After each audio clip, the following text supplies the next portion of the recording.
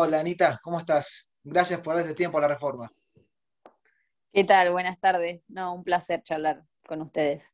Bueno, hablamos que estabas volviendo a entrenar ahora desde el CENAR. Este, contanos un poquito cómo viene tu día a día, pensando ya en los, en los Juegos de Tokio. Bueno, dale, te cuento. Mira, yo por lo general entreno de lunes a sábado, eh, lunes, miércoles y viernes tengo doble turno de, de pile, martes, jueves y sábado tengo un turno de pile y uno de gimnasio, así que entreno de lunes a sábado todos los días doble turno y nada, esta es la, la preparación para los Juegos Paralímpicos de Tokio que llegan ahora en agosto. Y esa espera se ha hecho rogar mucho, ¿no? Yo te leía en notas anteriores que has hecho eh, con la postergación y la cuarentena y demás, se han hecho desear demasiado, ¿no? Sí, la verdad que sí, se hizo súper largo todo. Quizás el año pasado fue, va, a mí se me hizo mucho más llevadero que este. Este ya como que estamos un poco ya cansados, eh, como que ya es todo lo mismo, pero bueno, eh, ya falta poquito para, para el gran objetivo, así que tratando de, de ponerle la mejor y, y, y de no decaer. Pensaba mientras leía la cantidad de torneos que el año pasado se suspendieron por la pandemia, eh, Sí. si se hubiesen hecho los Juegos Olímpicos en un año normal, ¿no? Como el año pasado, sin coronavirus, ¿sirve llegar quizás con tanta competencia o quizás este respiro les vino bien para llegar un poco más descansados? ¿Cómo lo ves? Eh, no, sinceramente para mí es mucho mejor llegar con competencia a un juego paralímpico. Vos pensás que yo la última competencia internacional que tuve fue en 2019, en septiembre, que fue el- un mundial en De Londres. Londres. Ese fue el último torneo importante que tuvimos antes del Juego eh, Paralímpico, porque ya nosotros no vamos a viajar a ningún lado. Eh, solamente tenemos torneos acá en el CENAR, que es más que nada tomas de tiempo, porque tampoco tenemos muchos competidores en Argentina, así que es más que nada para tener marcas para el ranking, pero ese roce internacional que tanto necesitamos antes de un Juego Paralímpico, lamentablemente no, no lo tuvimos. Claro, sí, sí, te entiendo des- desde ese punto. ¿Y qué, Sí. si has visto algo, porque sé que también se está compitiendo en, en Alemania y hubo- hay un torneo en Portugal en este momento, este, ¿has visto algo? ¿Cómo ves la competencia? Sí, sí, la realidad es que los torneos este año se hicieron todos. Nosotros no, no viajamos por decisión técnica, por una cuestión de, de cuidado más que nada, porque no estamos vacunados por ahora. Entonces, la decisión del cuerpo técnico fue que no viajemos a ningún torneo internacional por cuidado.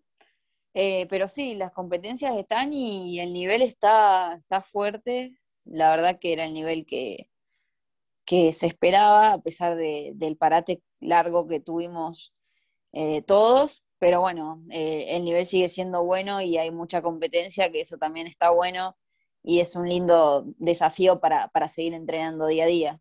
¿Qué país destaca o, o crees que va a destacar en estos próximos Juegos Paralímpicos? Y siempre son los mismos, por lo general.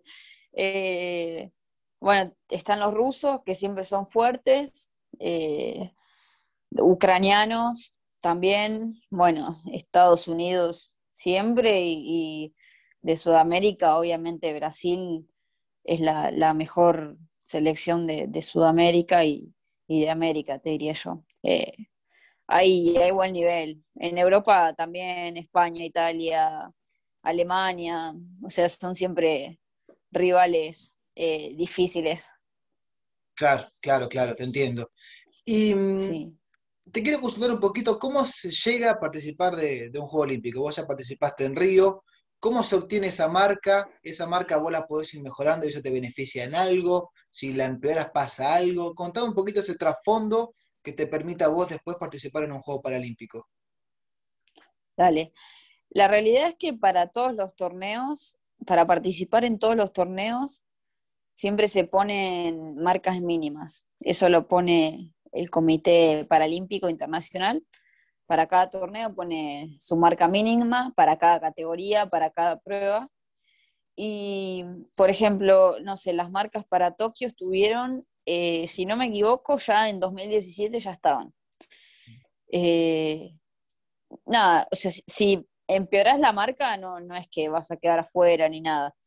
Eh, la idea es, una vez que vos haces la marca, te conviene ir mejorándola porque en el caso de los Paralímpicos a nosotros no nos dan plaza si haces la marca. No es que si haces la marca va sí o sí. Vos tenés que tener una, un buen, ¿cómo es que se dice? Una buena ubicación en el ranking. Por ejemplo, si estás entre los primeros ocho del mundo, eh, tu marca A sí es plaza directa con tu nombre. Por ejemplo, yo eh, hice la marca A y como en el Mundial de Londres quedé cuarta, ahí sí ya tenía la plaza asegurada. Ah, Pero, por ejemplo, tengo compañeros que hicieron la marca y están 12 en el ranking, por ejemplo, y todavía no se sabe si ellos van a ir o no. Y en base a la cantidad de marcas A que se genere, eh, sale el porcentaje de plazas para, el país, digamos. Creo que más o menos por ahí es. Bien, no, se entendió clarísimo, claro, el, lugar en el ranking más la marca es lo que te da tu lugar con tu nombre en, el próximo, en la próxima Exactamente, por, eso eh, una vez que haces la marca es súper importante ir mejorando tu posición en el ranking, porque si haces la marca, pero por ahí esa marca no te ayuda a estar entre las ocho mejores, igual vas a estar complicada para ir por más de que tengas la marca. Bien, clarísimo. Eh, hablando de mundiales, se confirmó que va a ser Portugal, en Madeira, la, del 2022. Exacto, era en sí va a ser este año y se postergó para el año que viene, así que nada, ahí está también seguramente después de Tokio ese va a ser el, el gran objetivo para el próximo año. Perfecto. Con respecto a los estilos, ¿con cuál te sentís más cómoda? Eh, ¿Con cuál crees que te da mejores resultados? Quizás no es lo mismo que vos te sientas cómoda, no sé, nadando crawl, pero quizás te da más resultado nadando en espalda. Comentame un poquito en cuanto a los estilos de, nado. Mira, yo por lo general durante los entrenamientos entreno todo crawl y espalda. Eh, y mi prueba principal son los 100 metros de espalda, es en la que más me destaco y en la que más cómoda me siento también y en la que mejores resultados también me ha dado. Eh, no me disgusta entrenar crawl, eh, pero bueno, nado mejor espalda. Claro, perfecto. Y, y ahí me refiero, ¿no? no es, en las pruebas libres, por ejemplo, espalda o crawl. ¿Qué es lo que... No, ¿Cómo definís eso? Por lo general, cuando es 50 libre, nado crawl, porque eh, en espalda me destaco más en los 100 metros que en los 50, entonces siempre nado 100 espalda, 50 y 100 crawl. Esas son las pruebas que, que más nado. De hecho, en Tokio voy a nadar 100 espalda y 100 libre nada más. Bien, ¿es mejor la distancia un poco más larga que la más corta? Quizás en una es más explosiva y en la otra es un poco más también de resistencia? Y es depende de cómo se siente cada uno. Yo particularmente me siento muchísimo más cómoda nadando una prueba de 100 que una de 50, pero eso es muy personal, depende el atleta, el físico, todo, todo, son como muchas cosas que, definen eh, a qué prueba preferís. Bien, y entre esas cuestiones que definen está la alimentación. Vos hablaste recién de tu rutina nadando y en el gimnasio y demás. ¿La alimentación cómo es? ¿Cómo, ¿Cómo se distribuye más o menos? Sí, mira, yo no te voy a decir que soy una súper estricta de, la alimentación porque eh, no, no, no, no, no soy, no estoy muy a favor de eso, digamos. Soy de cuidarme lo justo y lo necesario. Tampoco voy a dejar de disfrutar por, por comer eh, saludable, que ni siquiera, pues yo como saludable, pero a la vez me doy mis gustos. Eh, sí, obviamente llevo un, plan de, alimentación, estoy controlada por nutricionista y, tengo mi equipo de trabajo, pero es, yo creo que sí que es muy importante estar bien físicamente, es fundamental. Eh, creo que el año de pandemia a todos les pegó Eh, por suerte puedo decir que a mí no, eh, fe en ese sentido, así que sí, hay que, hay que tenerlo en cuenta, pero no te digo que soy una enferma de eso. Hace poco hablé con, Tomás Palacios, que está en talleres jugando al fútbol, y me hablaba del entrenamiento invisible, eh, que es esto, dormir bien, comer cuando hay que comer, eh, estas cuestiones. Eh, ¿Vos cómo la llevas con eso? No sé si haces algo extra a la natación o te enfocás plena a, nadar y a entrenar. Sí, estoy de, acuerdo con el entrenamiento invisible. Yo particularmente me dedico pura y exclusivamente a entrenar, me dedico solo a esto.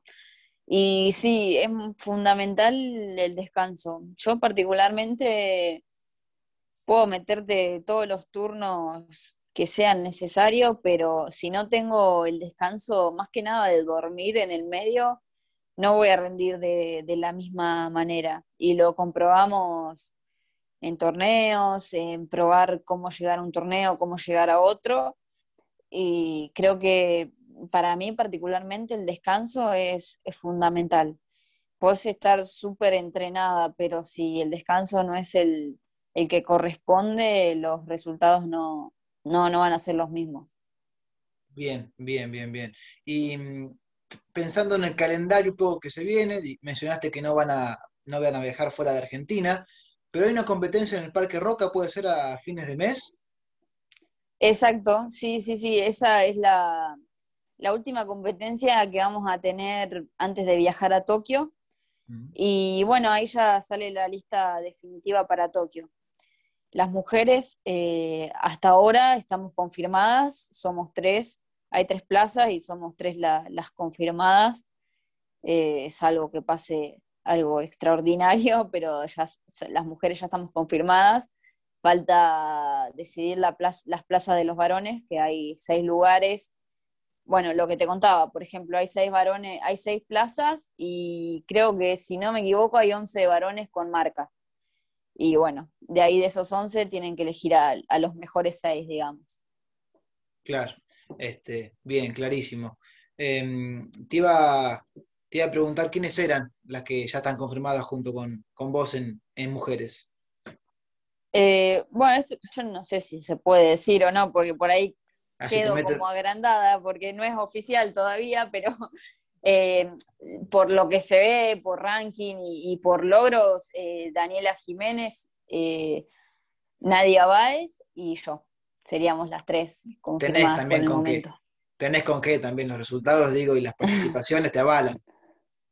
Sí, obvio, obvio. Pasa que, bueno, por ahí nos dicen, no, hasta que no sea oficial, no hay que decir, pero mm, creo que en estos casos no, no hace falta eh, decir nada, o sea, los resultados están en la vista. ¿Cómo, cómo crees que va a ser la, Villa Olímpica, teniendo en cuenta que ya viviste lo que fue Río, con, una, con un tipo de vida que conocíamos hasta ese momento y ahora conocemos uno completamente diferente? ¿Cómo crees que va a ser esa experiencia?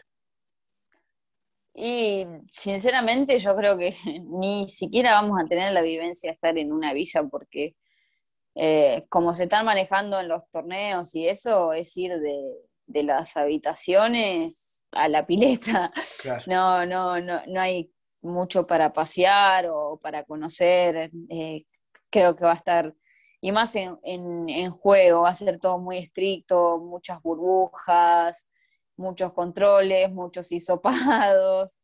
Así que nada, es vivirlo como se pueda, lo importante es que se pueda hacer y nada, ir a disfrutar como podamos. Obviamente que todos lo vamos a disfrutar porque después de, todos estos meses entrenando para ese objetivo, por fin va a llegar ese día tan esperado para todos, entonces sea como sea, lo vamos a disfrutar igual.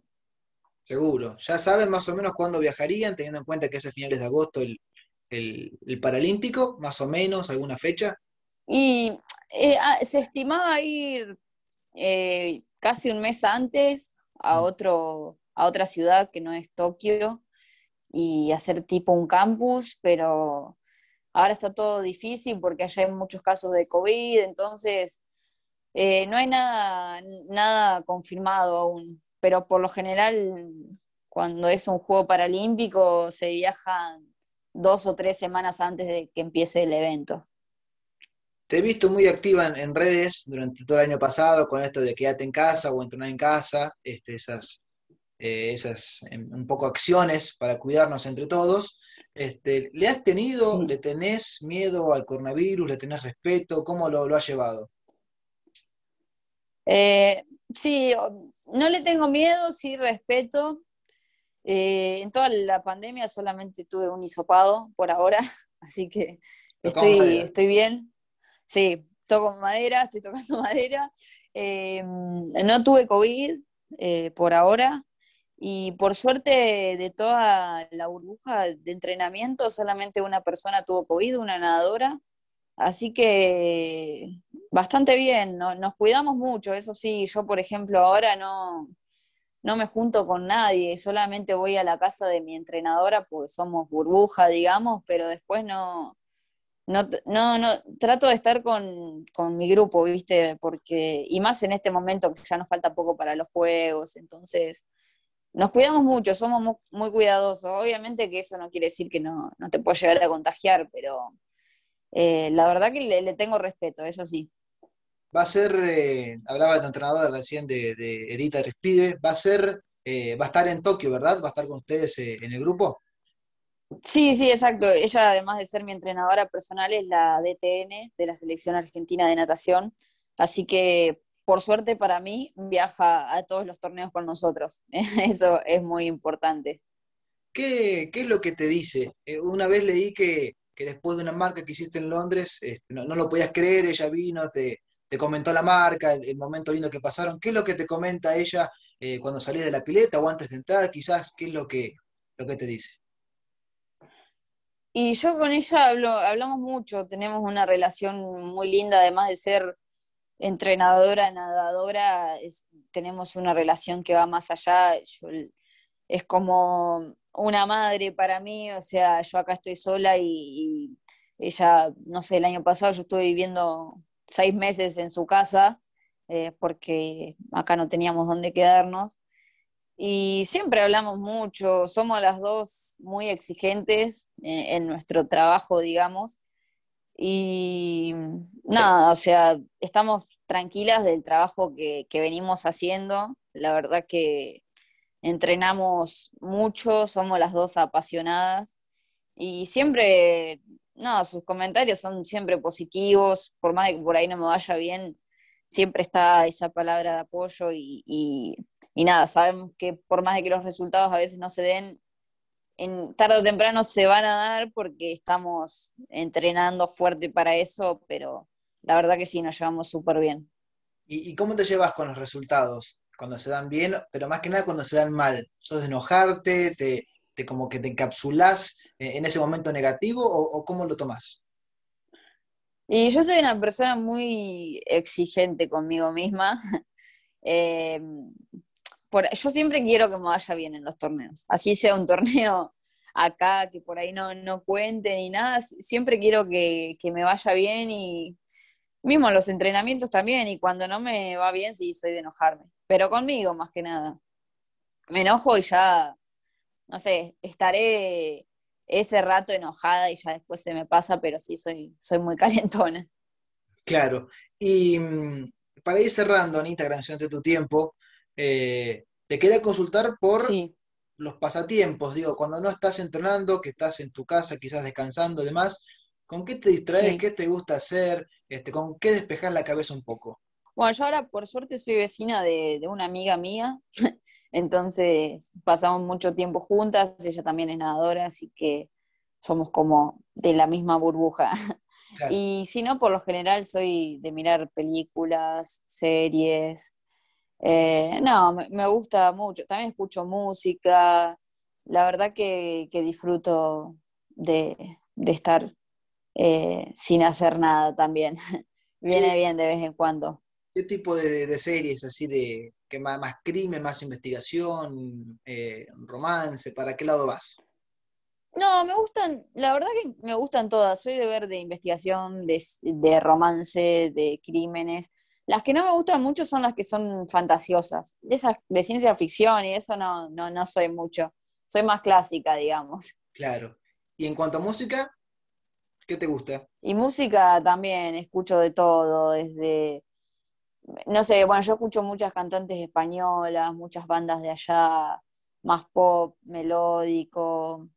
Eh, bueno, también cumbia escucho, o la onda de ahora también. No, no tengo prejuicio tampoco con la música, salvo el, no sé, la electrónica o el heavy metal, esas cosas, pero eso no, por ahí no, no me llama la atención, pero después escucho de todo, no, no, no tengo problema. Perfecto. Bueno, agradecerte estos minutos que, que nos diste, Anita, para charlar un poquito de, de tu presente, de tu actualidad. Eh, y bueno, antes de cerrar, comentame un poquito cómo está el cenar. ¿Hay gente? ¿No hay nadie? Eh, ¿Cómo está el cenar? Yo que he ido por ahí, cuando se podía ir, había muchos deportistas. ¿Hoy cómo está? Bueno, hoy está muy tranquilo. En teoría solamente podemos entrenar los que estamos clasificados a Tokio o los que están cerca de, de hacer la marca. Entonces, es como todo muy, muy tranquilo, está organizado, con mucho protocolo. La verdad que nos sentimos cuidados de que en este momento funcione así, eh, pero sí se extraña lo que es el, el, movimiento del cenar, pero bueno, seguramente dentro de poco ya, ya se normalizará todo.